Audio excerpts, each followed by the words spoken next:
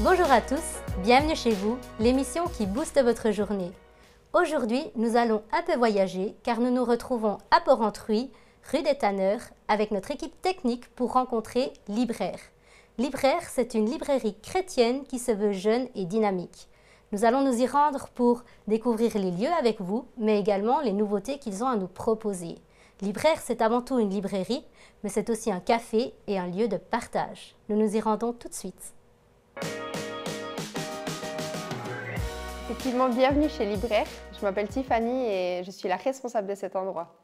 Nous sommes une librairie créative et chrétienne, ce qui fait que nous on peut retrouver de la littérature chrétienne, mais aussi euh, de l'artisanat local et régional, euh, où on, met en fait en avant euh, des, produits qui sont créés par des, des, chrétiens ou des, en tout cas des gens de la région qui font des choses avec amour et avec leurs mains. Nous avons aussi un coin partage avec un café, où on peut s'asseoir et partager du temps avec nous.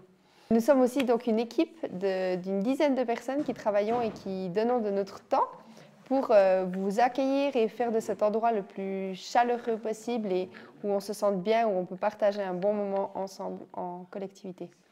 On est ouvert du mercredi au samedi, le mercredi, jeudi, vendredi de 14h à 18h30 et le samedi toute la journée sans, sans pause à midi. Maintenant, je vous propose de, découvrir euh, une sélection de livres et de produits qu'on vend à la librairie pour vous, présenter ce qu'on vend.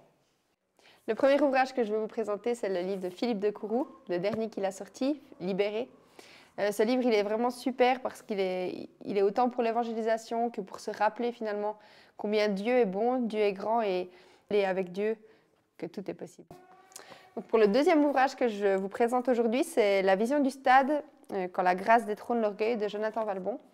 Donc ce livre, euh, qui est le livre écrit par, euh, par un pasteur, qui nous parle de l'orgueil, qui nous parle justement de quand la gloire, sa propre gloire prend le dessus sur la gloire de Dieu.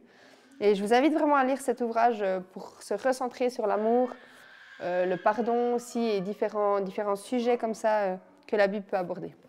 Donc le dernier ouvrage que je vais vous présenter, c'est du thé, du thé qui est fait par Tinots, qui est trois copines chrétiennes qui ont créé leur, euh, leur, propre marque. Et ils font des pochettes et des coffrets qui sont euh, sur un thème. Donc c'est 30 jours. Et pendant ces 30 jours, vous avez chaque jour un verset et un, cheminement sur les 30 jours sur un thème précis. Par exemple, être centré sur l'essentiel.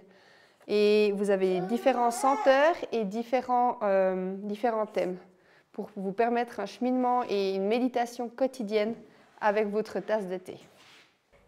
Merci beaucoup. J'espère que la visite vous a plu. Quant à nous, nous nous retrouvons bientôt pour une nouvelle émission.